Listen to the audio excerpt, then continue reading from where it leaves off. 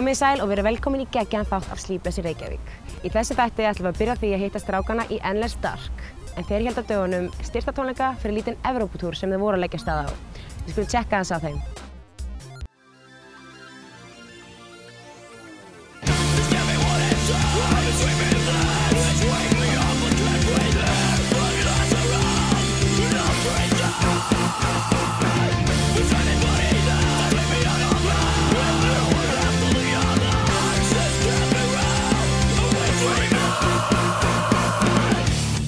Við erum með Endless Dark.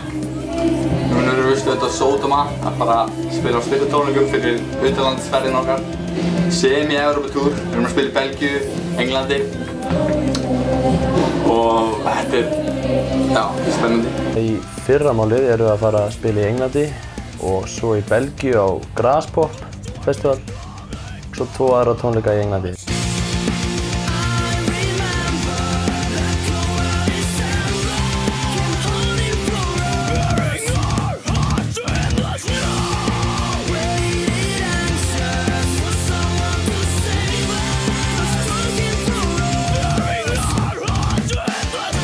Við erum sex í bandinu og spilum svona post-hardcore tónlist, svona eitthvað hardkjarna rock og já, erum flestir, ja, allir frá Snæfellsnesi við búum allir í Reykjavík núna eiginlega Við erum að spila svona post-hardcore skrina.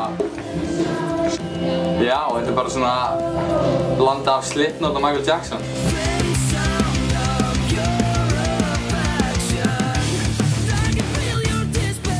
Við spyrjum ekkert að spila svona tónlist fyrst sko en svo bara höfðum mikið áhuga á þessu og já, kannski ástæðan okkur við heldum áfram að gera þetta var þetta að enginn hafði áhuga á að hlusta á okkur þess vegna vildum við búa til áhuga annar staðar eða eitthvað.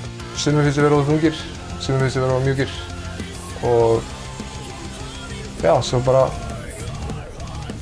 mixast þetta vel saman held ég bara. Svona 50-50, það er jafn mikið ást og hatur. Þú veist, að spila eitt af fyrir fyrra, það var bara alveg... Þetta var bara 50-50 eitthvað, ég veit það ekki.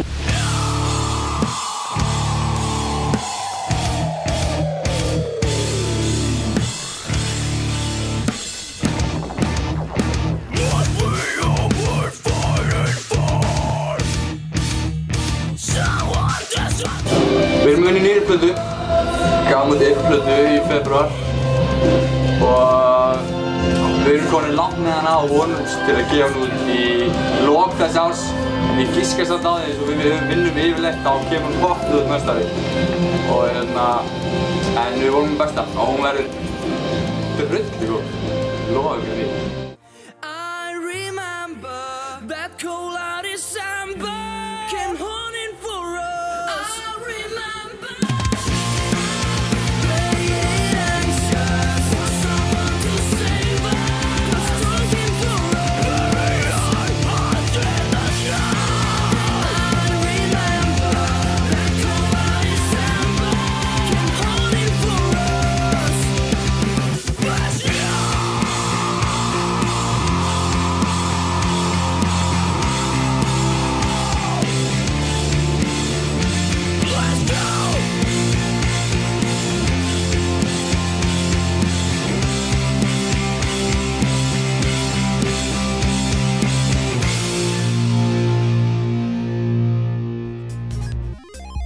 Tónlistamæðurinn MC Gauti gáði á dögunum sína fyrstu sólaplötu. Sleepless í Reykjavík þakka skiknast að baka tjöldin við gerð tónlistamindbandsins Hemmi Gunn. Herra, Við erum fyrir dagann austur þar sem við vorum að klára ákveðin part af nýju vídeo sem við erum að skjóta. Klukkan er svona mikið og ég heiti þetta. MC Gauti.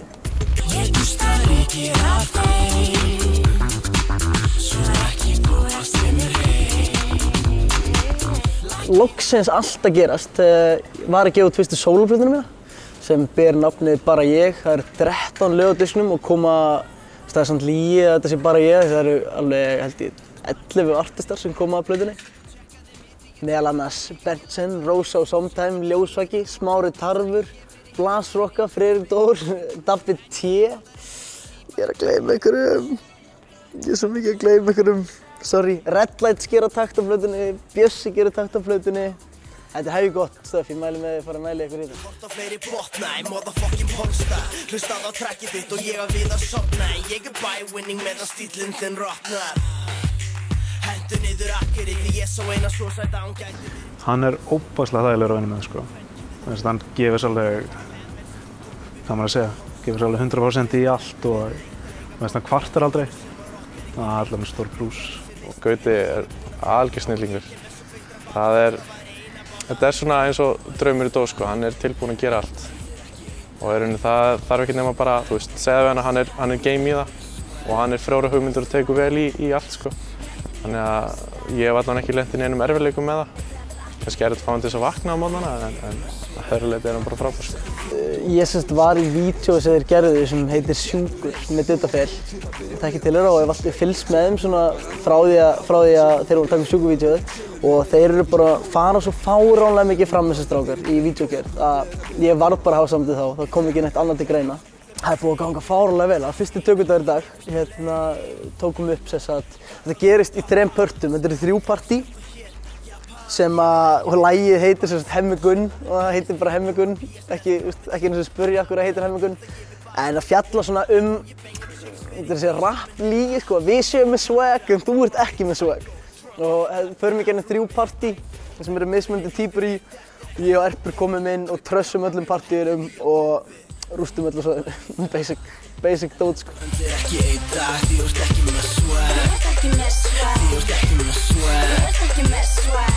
Ég, sko, ég byrjaði að rappa þegar ég var árið 2002, ég, 12 ára eða 13 ára gammal, eitthvað svo leiðis. Og það hefur, þetta, þetta er svona, þetta er svona tónlistarstefna sem fet aldrei upp og niður, sko. Það kemur hérna róttulega ég byrjaði að rappa út af því, og hérna, var aðeins byrjaði að fykta en svona fór að gera þetta alvöru þegar fyrsta róttulega ræðið kom, sko. Uh, síðan náttúrulega sangast alltaf út fólki sem var bara að gera þetta til þess að gera þetta, skiljum. Og nákvæmlega staðan í dag er svo að það er fullt af strákum sem er að gera fárlega góða hluti, sko. En mér finnst að fólk með vera aðeins dugleira að koma sér á framfæri. Aðeins dugleira, veist, ég nýtti hvert einasta fokkin tækifæri til þess að fara að spila í hérna, félagsmiðstöðum, í skólanum mínum, fór að spila eitthvað svona skýta gigg í litlu kaffistofinni og bara svona nýtti hvert einasta skipti sem ég gat til þess að koma mér á framfæri og ég meina það er búið að skila sér á, á þann stað sem ég er í dag. Þetta er svo mikið leið, þetta er leiðilegasta atrið í vídeónu, sko. Hella niður. Fokk, ég rappi svo mikið líi, ég hef ekki efna á þessu, sko. Ég hef ekki efna á að vera svona tjóki. Sko, þetta vídeo er, er flókið að mörgu leiti að þetta er tekið á alltaf stuttum tíma og er, erfiðasti parturinn er, er fólkið sko. Veist, Það er svo mikið af krúi í myndböndunum.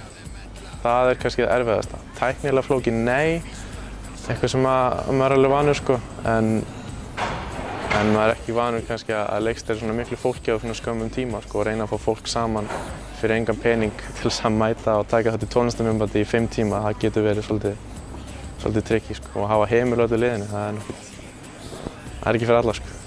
Ég verð hérna, við erum alltaf á Íslandi, þetta er rap sko.